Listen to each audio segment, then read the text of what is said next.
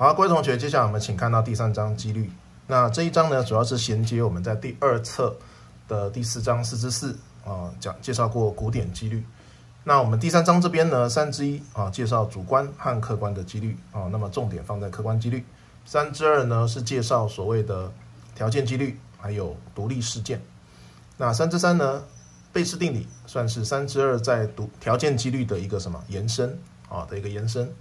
那我们首先看到一百一十八页这边，啊我们这个图形这边呢，大家会看到，啊，这个红色的啊，像一个半月形啊，有点不规则形状的这个呢，我们叫做所谓的宝杯啊，我们中文叫做直角啊，直角。那么在闽南方言里面会把它叫做宝杯，所以如果这个在 Google 里面去打 P O A H P O E 啊，这个就可以找到。它的一些图形啊，或者是一些影片，那么它主要都是会出现在一些中国式的道教的寺庙或者是佛教的寺庙里面啊，在这个神像的这个神桌上啊就会有啊，它旁边呢就会有一些，还有伴伴随的会有这个抽签啊，你可能想要问一些事业啊，问一些财运啊，问一些婚姻啊，问一些什么发财的一些情形，就可以把不会来问神明。好，也就是说，在中国的这一种道教或佛教系统里面呢，利用这个东西，好来跟神明做一个沟通。那么大家看到它的说明啊，每一个角杯或半月形，一面为凸面，我们也可以解释成是阴啊；一面为平面，也就是阳。同时丢下去之后呢，一平一凸，叫做圣角啊，或者就是这个情形，代表说神明同意了啊，你的请求或者是你的问题。如果两个都是平面，我们叫做笑角，代表说，哎，神明在笑你，你的问题可能很无聊。那两个凸面往上的话，叫做什么？阴角，那这个代表他生气啊，神明代表说你问的问题让他生气了。那当然，如果丢过同学，大家就知道，他其实怎么讲？因为它是有平平的一面，也有凸的一面，它其实丢起来有点不规则哦，丢起来有点不规则。那这种东西。一般来讲，如果说像神明问问题的时候，可能我们会设定说要连续三次的圣角，连续头三次都是圣角的话，那么你的那个问题就代表说神明是答应的，啊，或者说你的请求是被允许的。好，那么这边利用这个丢这个宝贝的一个状况呢，这边有三个同学做了三个说法，大家参考一下。好，我们根据第二册的古典几率啊，假设角杯两面出现的机会均等啊，所以会可能。平平或平图图平图图四种，所以丢出胜角的机会呢是平图跟图平，对不对？一一个往上，一个往下，对不对？所以它的几率是百分之五十，四种里面它占两种哦，所以简单讲就是二分之一，四分之二。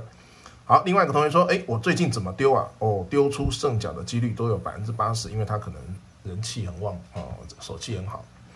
啊，第三个同学说呢，根据妙方做的实验，哦，这一对。角杯呢？如果丢了一万次之后，会出现五千零二十二次的胜角，所以它的几率应该是把五零二二去除以一万啊，应该是五十点二二 percent。好，那么这三个同学到底哪一个说的是对的？好，哪一个说的对的？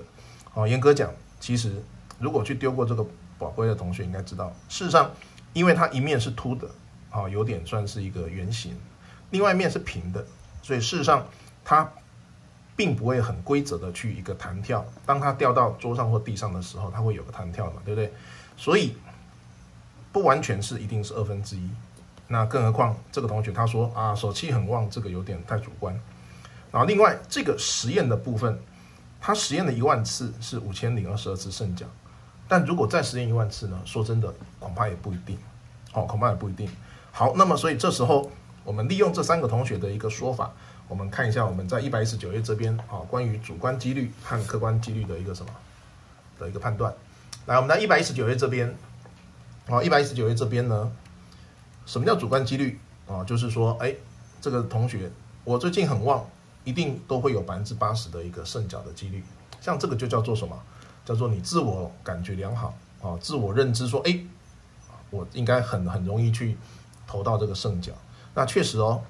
在台湾来讲的话，嗯，很多的庙宇，譬如说在农历过年过中国新年的时候，在元宵节哦，他们就会办这个丢这个宝贝的比赛哦，看看连续最多次出现这个圣杯的胜角的这种情况呢，假设你是连续八次或九次或十次，哎，那么就会拿到冠军。那当然，如果次数稍微少一点的啊，就拿到其他的奖品啊。因为老师家的旁边的庙哦，每年都会办这个比赛，哦，每年都会办这个比赛。那说真的，即使你可能练习了很久，哦，那么但是呢，也许每年的冠军还是都不同人，哦，你就是有一点点运气在那边。所以像这边所讲的主观几率，根据个人经验，那么这个事件可能是做的一个什么猜测，就会因人而异，包含了什么偏见，所以这个并不是，并不适合作为一个什么几率的一个分析，我们叫做主观几率。所以你不能说，哎，我觉得我最近可能这个手气很好哦，这个猜题都猜得到，所以呢，必考题啦或者是什么，我考试一定都会及格，都会 pass 哦，甚至说，哎，各种各种。我觉得，我认为，我想象怎样怎样的这种，根据个人的经验或者是直觉预感的，其实都不能算作几率的一个正确的一个什么使用方法。好，那么我们当然看到客观几率，客观几率什么意思呢？根据实验，哦，我丢了一万次怎样怎样，对不对？所以这就是一个标准的客观实验的一个例子。那我们请看到客观几率这边，将多笔资料经过观察、记录、调查、试验所得到的事件发生频率，我们叫做相对次数。请注意，一般我们讲叫做相对的意思，就代表要做一个什么除法啊？譬如说 A 除以 B，叫做相对次数，相对次数。所以这个客观几率也可以把它叫做频率的一个什么几率。我们看到一百九页的这个客观几率的定义这边，在相同条件下重复多次实验。在 n 次试验中，事件 A 出现了什么 k 次，则以事件发生的频率 n 分之 k 用 k 除以 n 代表这个事件 A 所发生的客观几率。好，所发生的客观几率，就像刚才的这个同学所表示的，哦，丢了一万次，出现五零二二次的胜角，那么它出现的胜角的几率就零零点五零二二。可是不要忘了，我们如果再丢一万次。可能就不一定是这个数据，但是我们可以发现到说，如果再丢一万次，再丢第三个一万次，再丢第四个一万次，那么所得到的胜角的几率应该会跟这个零点五零二二会差不多，哦，会差不多，那就看怎么样去做一个实验的一个计算，好，去计算。来，我们下面请看到我们的例题一这边，啊，例题一的话，带同学认识一下我们的棒球运动的一个问题。我们看到例题一这边，啊，例题一的话呢，旅日棒球好手王柏荣，他在二零一五年加入了中华职棒的打击表现。我们定义打击率是什么？总安打数去除以总打数。啊，总安打数，请注意安打是什么东西？安打我们就叫做 hit。安打的意思就是说，我们把球打出去之后，我们的球员可以平安的站上一垒，不会出局，好，或者说。白话文一点就是说死死掉就对了，他可以平安的站在一垒，继续往二垒跑，甚至往三垒跑。那么他所那一次打击就是一个什么安打？那么他不会每次都打安打，对不对？所以你有个总打数，就说哎，我跟这个投手这样子一场比赛可能上场四次或三次。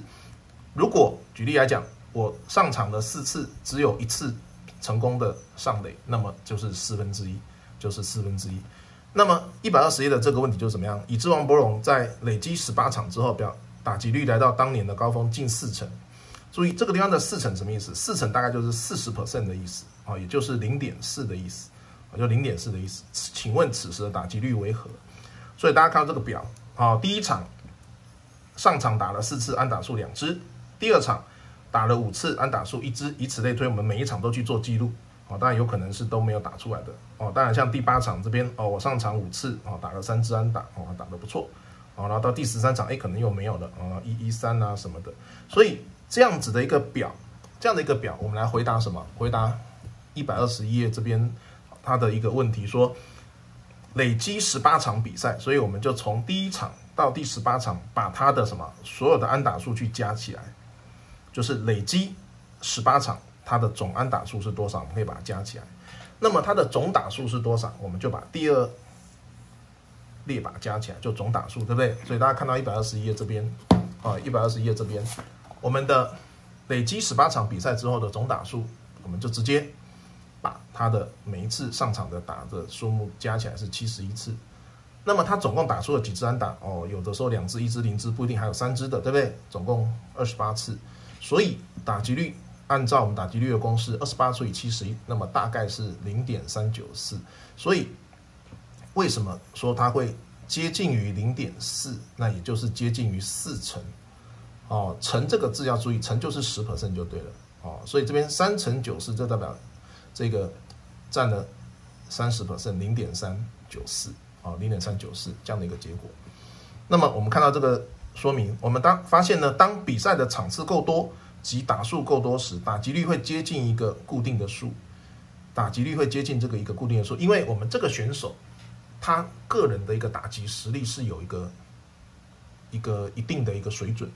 大家会发现说，像这个图三这里，也许他刚开始的时候，哎，打击率上上下下，对不对？刚开始的前二十场。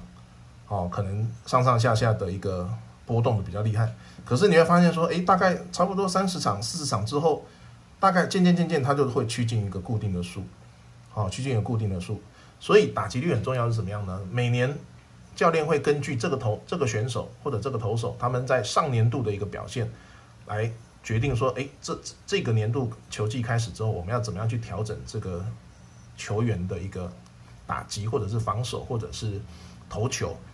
好，来帮助我们做一个什么评估，而且这个评估它一定是做一个滚动式的，因为可能有的球员他也许刚开始打的不太好，哎，后来可能又越打越好，哦，然后呢，呃，最后又趋近一个固定的数，所以教练如果能够掌握每一位球员的打击率的数据，啊，有有助于在比赛中去做一个对应，也就是说，对方如果比较厉害的球员上来，那么我们当然就不要投太好的球给他打，对不对？诸如此类。哦，所以像这样子一个方式，做一个什么统计去做一个计算，我们有一个打击率的一个计算。来，首要练习这边呢，这个选手在二零一五年的年度打击率什么意思？年度打击率就是所有比赛，哦，他这边总共出赛了二十八场，所以我们请同学把二十八场的安打数全部加起来是三十六。那二十八场全部的出场打击数是多少？一百一十一。所以把三十六去除一百一十一的话，这样子除出来大概近似值是零点三二四。哦，零点三二四，所以你会发现说，哎，我们到第十八场的时候，哎，这个数值很高，零点三九四，对不对？哎，可是再打了十场到二十八场之后，它的平均数降到差不多零点三二四左右。所以一般而言呢，哈，如果在直棒的球员这里，好，打击率如果是可以超过零点二五，甚至你可以到零点三左右的，其实都算是蛮厉害的一个打击者，哦，都算是蛮厉害的一个打击者，哦，所以王博龙的话，如果同学。平常会接触到这个新闻的话，它其实算是一个强棒啊，算是一个强棒啊，都排在第三、第四棒的这个中心棒次。那么我们从这个图也可以发现一个什么，就是说，哎，也许刚开始你可能打得很好，哇，下下叫，后来就还好，还好就趋向一个固定的数。所以，我们中国有句老话说，小时候胖不是胖，也类似像这个结果，哦，就说可能，哎，这个小朋友他出生一岁两岁，哇，胖嘟嘟的，哎，可能到。十几岁念国中、高中、大学的时候，哎，可能就正常了。好，所以有这种类似的一个说法，啊，类似一个说法，请大家做参考。